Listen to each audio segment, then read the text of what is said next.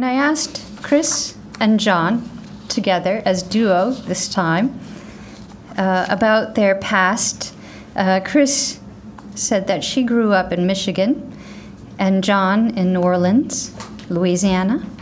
And Chris loved to spend holidays with her extended family, over 40 cousins she spent time with. John enjoyed having lunch at the top of his grandmother's crepe myrtle tree. And what brought them both to music? Chris said her mother played piano beautifully, and she would dance around the living room while she played classical music. John said, My parents thought learning a musical instrument would improve my penmanship. and then he said, It did not. In starting to sing and write songs, Chris said ever since she was a girl, she was writing songs. A little girl, she wrote worship songs for church and uh, created a neighborhood musical um, but only started sharing her own original songs 15 years ago, and she has one CD at this time. John noted that he, the first time he heard the song Alley Oop, he knew he was destined to be a songwriter. and a wonderful, uh, diverse songwriter. They both are really. When asked how they met, uh, Chris stated that they met at open mics just like this the, a, this particular one where they met was run by our friend Ellen Schmidt at the Center for the Arts in Natick, and they got to know each other through Ellen's songwriting group. And John noted the first time he reached out to Chris was after he heard from a friend she had written an extraordinarily sensitive song about his hometown of New Orleans. And then John and Chris noticed they had a similar approach in their music and their songwriting. They began to get together and collaborate and began to play together early in 2012. And by the end of 2012, they were also married. when asked why share poems, stories, and songs with others, Chris said, I like connecting with people in this way. And John said, a poem or song that is only, it is only known to the writer is a dream it's when it's received by a listener that it truly becomes a poem or a song. So, here to receive some of their poems, songs, dreams as duo, please welcome up John and Chris Boehmer.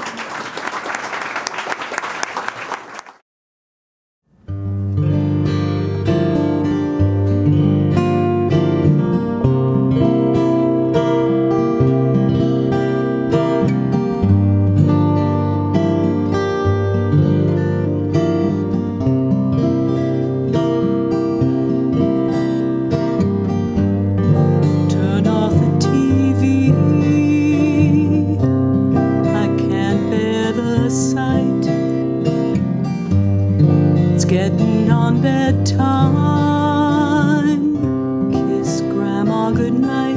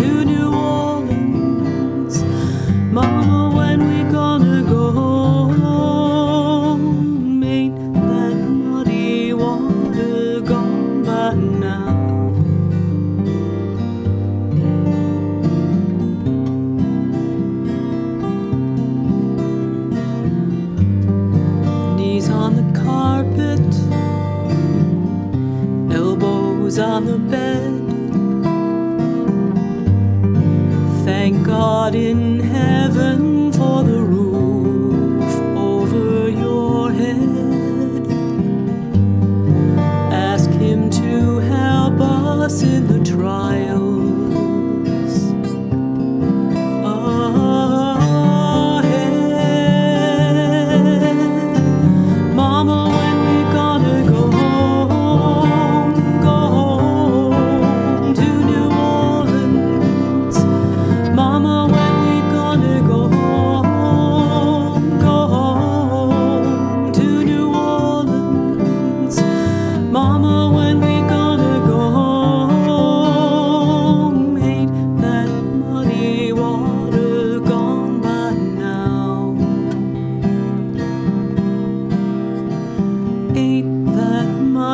water gone by now.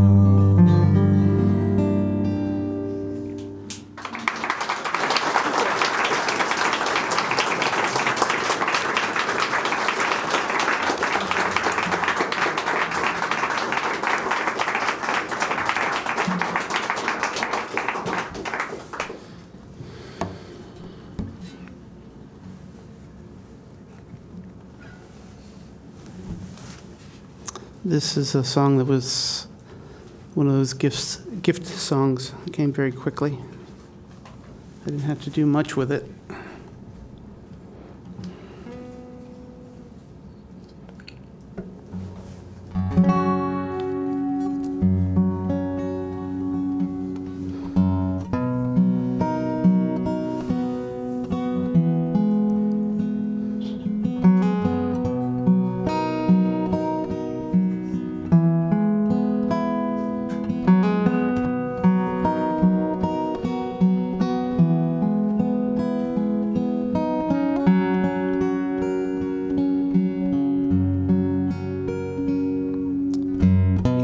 me.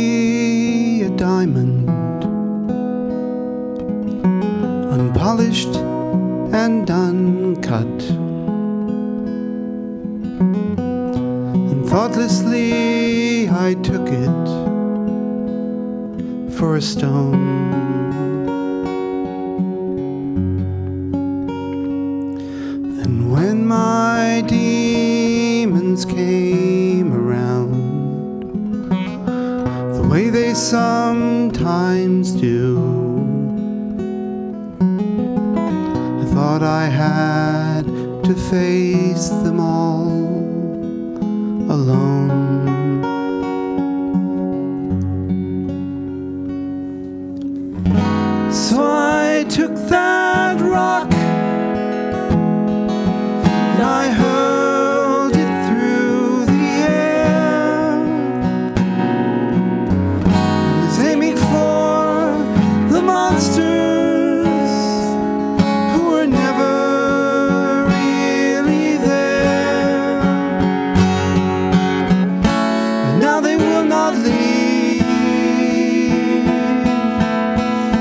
I can't find that precious jewel anywhere.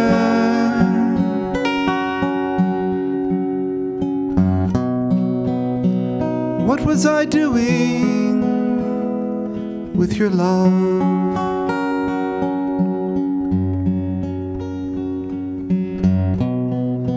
What was I doing?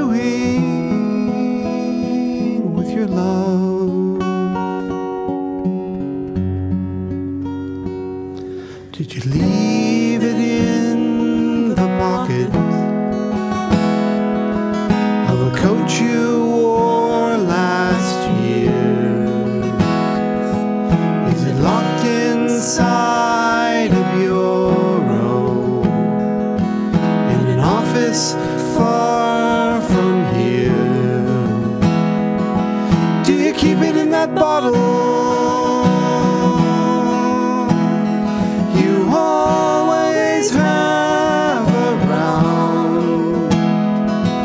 is it lying in a box that's buried.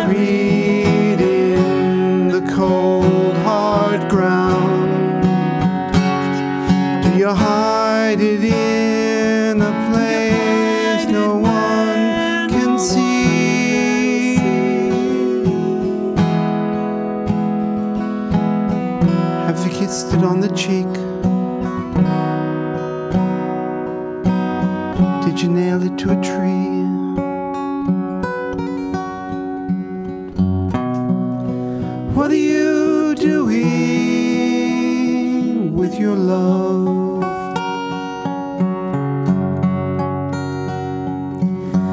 You treat it so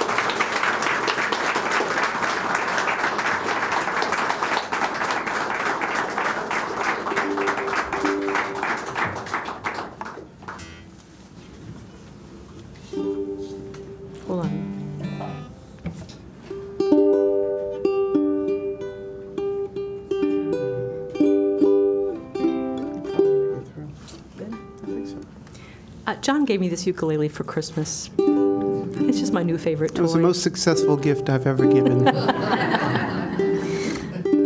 and uh, my newest song I wrote on the ukulele because it's just a great instrument. And John plays it with me, so.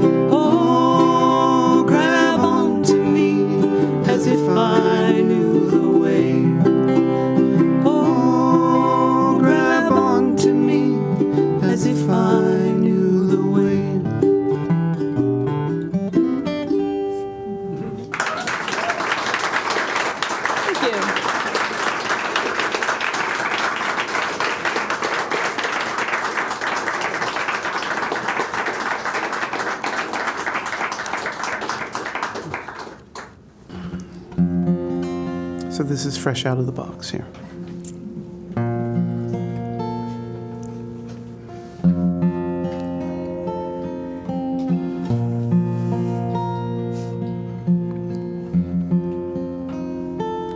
There is a room inside my heart no one has ever known a quiet and secluded spot where I can be alone.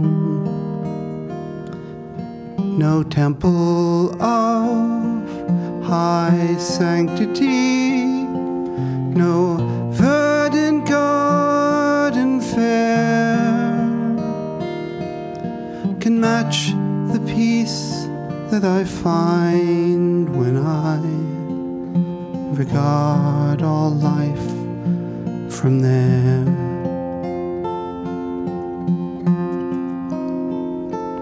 But I've unlocked the door and pushed the curtains all aside. I've swept the dust up from the floor. I've swung the windows wide. I've filled it with such pleasant things. A room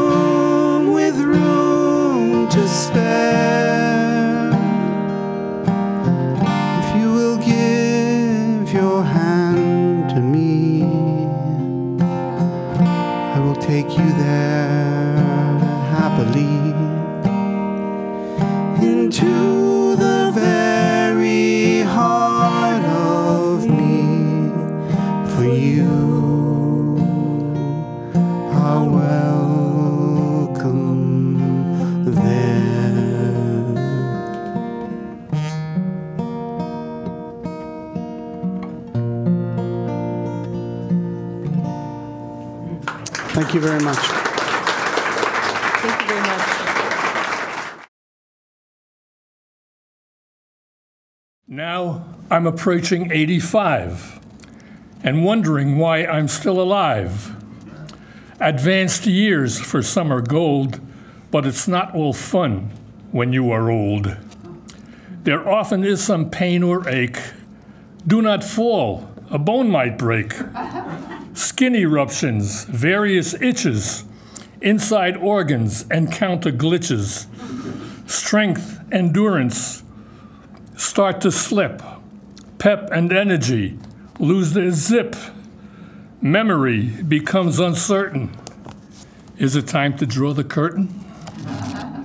But wait, there's other, often other ways for having future happy days.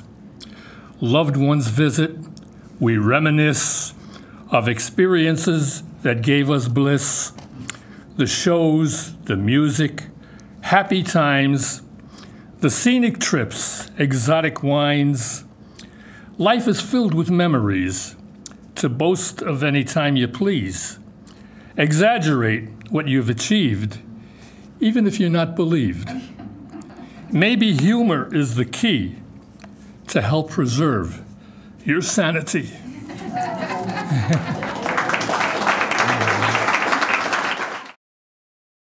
So, like I was saying last time, it always seems that I come into these conversations somewhere in the middle, as if I wandered off somewhere, which I did.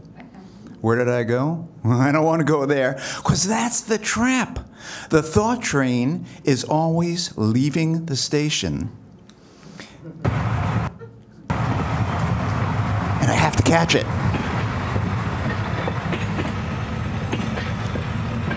I missed the all aboard.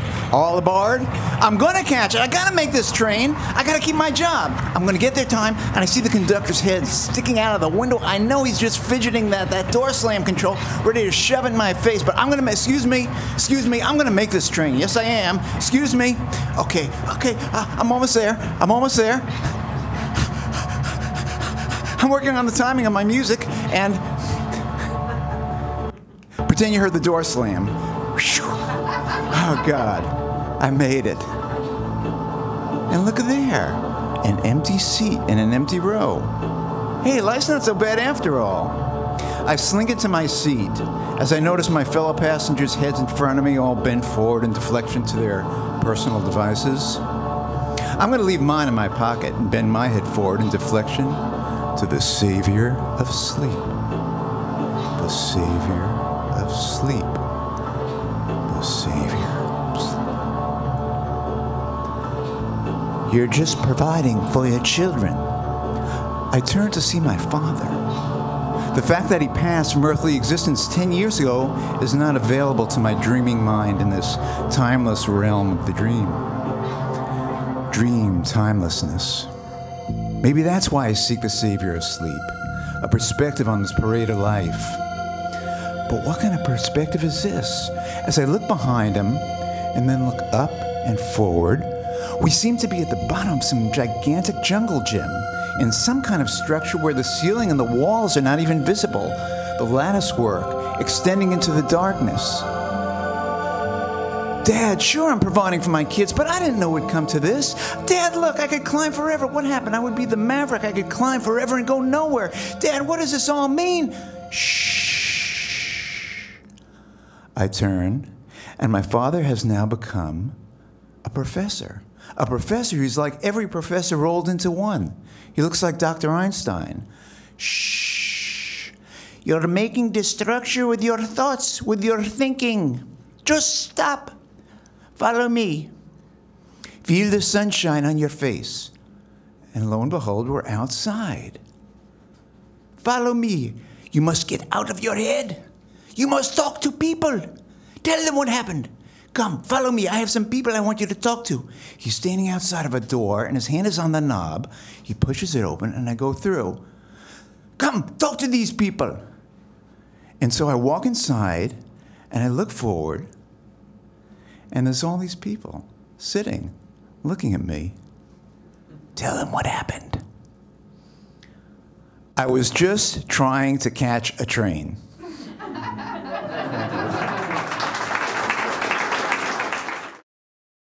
ammonite.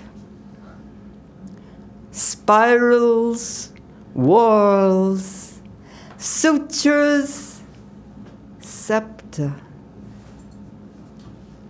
The form of time, the eternal winding, the clue in the curling.